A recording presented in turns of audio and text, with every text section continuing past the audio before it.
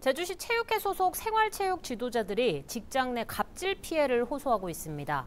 매년 수십억 원의 세금을 사용하는 제주시 체육회가 지도용품이나 피복비 등을 대부분 삭감해버렸다는 주장입니다. 이 때문에 시민들이 제대로 된 용품도 없이 운동하는 일까지 빚어지고 있습니다. 이정훈 기자가 보도합니다. 올해로 3년째 여성과 청소년을 대상으로 생활체육 축구를 가르쳐 오고 있는 이수정 씨. 올해만큼 지도를 하면서 힘든 적은 없었다고 말합니다. 제주시 체육회가 축구공이나 미니골대 등 지도하는 데 필요한 운동용품 구입 예산을 대부분 삭감해 버렸기 때문입니다. 이 때문에 낡은 공을 사용하거나 골대를 대신해 콘을 세워 가르치는 일이 반복되고 있습니다.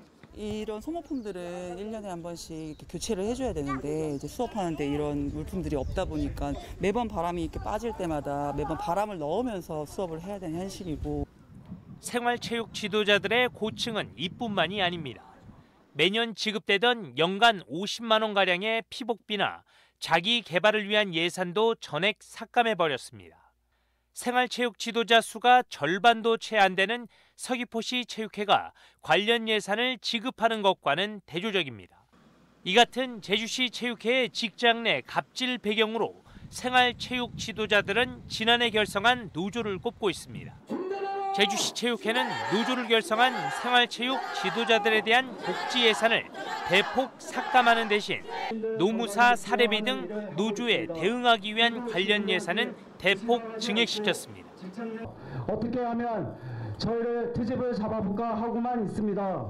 예를 들어 신규 사업이나 수업을 개설하려, 하려고 해도 무조건 안 돼 라고 얘기하고 기존에 잘 운영되고 있는 수업조차도 본인들 기분에 따라 없애버리고 합니다.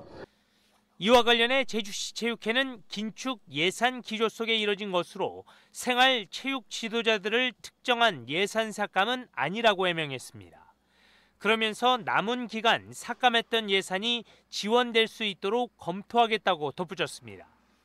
그 부분이 이제, 이제 예산이 충족했을 땐 그 부분이 이제 어느 정도 이제 지급이 되겠지만 현재 지금 예산이 전체적으로 어렵고 또 10%는 반납하다 보니 이번에는 책정을 못했습니다.